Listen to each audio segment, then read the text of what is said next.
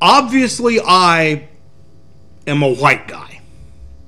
But even though I'm a white guy, I can tell you with 100% certainty that if I took an afternoon and engaged in exactly the same actions that Mike Brown engaged in on that fateful day, I too would have been shot dead by a police officer. And I would have deserved to be. I would remind you that extremism in the defense of liberty is no vice.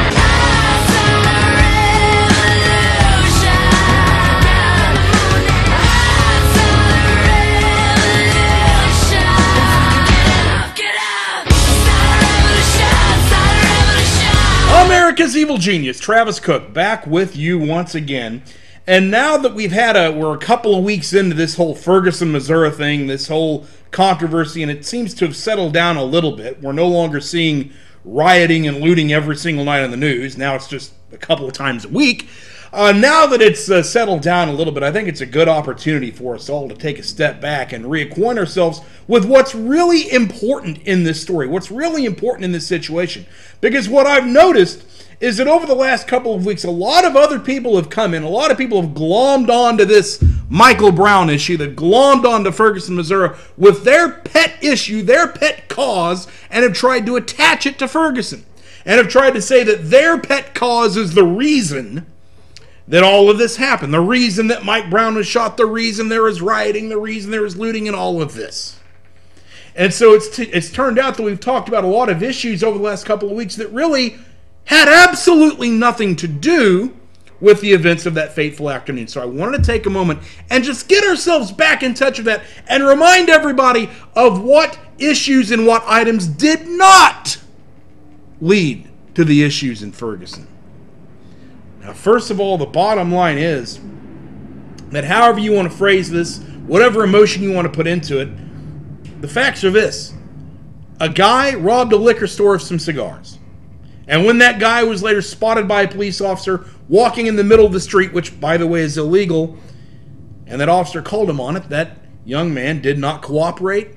He attacked the police officer by most accounts. At the very least, there was a physical uh, altercation and forced police officer to defend himself. That's what we know.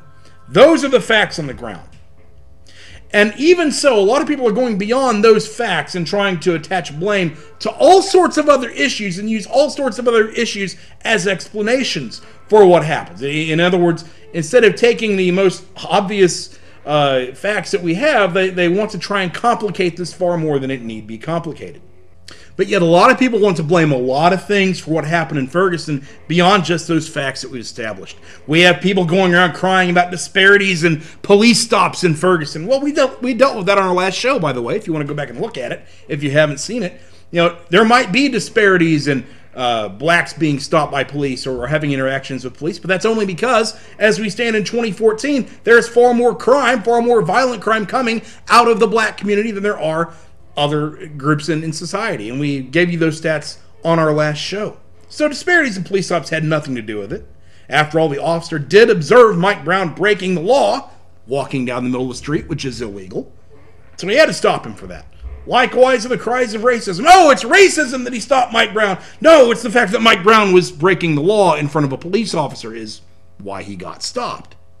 A lot of people have complained about the lack of diversity on the Ferguson police force. There are uh, supposedly so many white folks on the police force, yet there's so many black folks in the community. But there again, I don't see where that applies because the police officer, in this case happening to be white, saw Mike Brown, who happens to be black, walking down the middle of the road, which is illegal. So therefore, he had to confront him about it. What if the police officer had been black? Well, if the police officer had been black, I would have hoped the same exact thing would have happened. It darn sure should have. And if a black police officer would have let Mike Brown go by breaking the law right in front of him, that would say something pretty bad, wouldn't it? That, that would not be a good sign for where we're at in terms of police officers doling out justice. A lot of people blamed the lack of jobs, the lack of opportunity, the, and the poverty in Ferguson, Missouri for what happened with Mike Brown, but that doesn't have anything to do with it either. Did that force Mike Brown to go in there and steal those cigars or to walk down the middle of the street? No, they didn't. Now, there's some social scientists who claim that it would, but I, I would offer you this. Yes, Ferguson, parts of it are, are pretty poor and pretty run down and have a, a certain lack of jobs and opportunity, as a lot of other places do. But I can take you to a lot of places in the state of Missouri, a lot of rural parts of Missouri that are just as poor, just as impoverished, and have just as little opportunity as Ferguson, Missouri does, and yet you don't see this uh, this onslaught of crime and robbery and killing and attacking police officers and so forth. I can take you to these poor rural areas and you will not see those people riot and loot anytime something doesn't go their way. I mean, think of something. For a lot of us, a lot of people that live in those poor rural areas, the election of Barack Obama to the presidency was to them every bit the tragedy that Mike Brown was to the people of Ferguson, and yet you didn't see any of those people rioting or looting or burning down businesses after Barack Obama got elected, did you? Absolutely not. So the poverty and the lack of opportunity obviously have nothing to do with it because there's plenty of rural places that have all the same lack of opportunity, lack of jobs, and so forth, and yet they don't act that way. People cry about police brutality. Well, police brutality does not apply because the officer was, by most accounts, in a physical struggle with Mike Brown. And I'm not aware of any law, I'm not aware of any statute that gives any citizen, black, white, yellow, green, or whatever, I'm not aware of any statute that gives any of us the right to fight back at a police officer. It does not give us, any of us, the right to punch a police officer or more or less to go for his gun. None of us have that right. If any of us try it, guess what? We're probably going to get shot dead, and we should. People complain about the militarization of the police and the use of tear gas and rubber bullets and all this. But there again, militarization of police and the weaponry they've got did not cause Mike Brown to go into that convenience store and steal those cigars militarization of the police did not cause Mike Brown to walk down the middle of the street instead of on the sidewalk or the side of the street like he's supposed to. That didn't cause any of it. In fact, the militarized police, so called, were, in my estimation, downright nice in how they responded to the looting and the protesting. Yeah, they used tear gas and rubber bullets, and I thought after, after that first Sunday night, they should have used a lot more than just tear gas and rubber bullets. They should have used the real McCoy. They told people to disperse, they wouldn't do it. So they tried to get them to disperse, and yet we're going to criticize the police for enforcing their own orders. That doesn't make any sense. The actual cause of what happened in Ferguson and what continues to happen in Ferguson today boils down to this somebody committed a series of crimes one afternoon.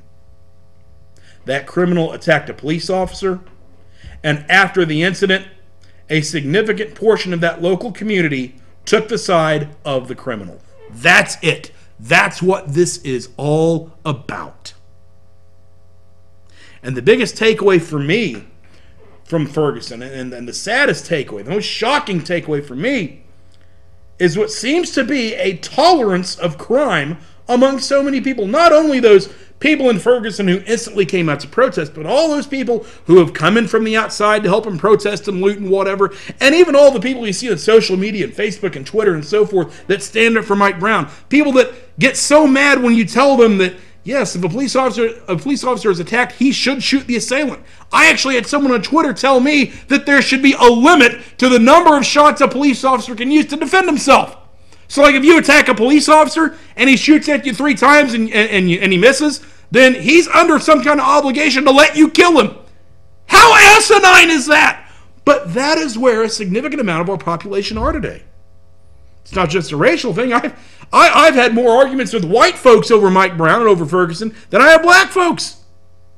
There's a lot of people out there that are very twisted about this whole thing. A lot of people out there that are more concerned about violence towards a criminal than they are about violence towards those who protect us and our property.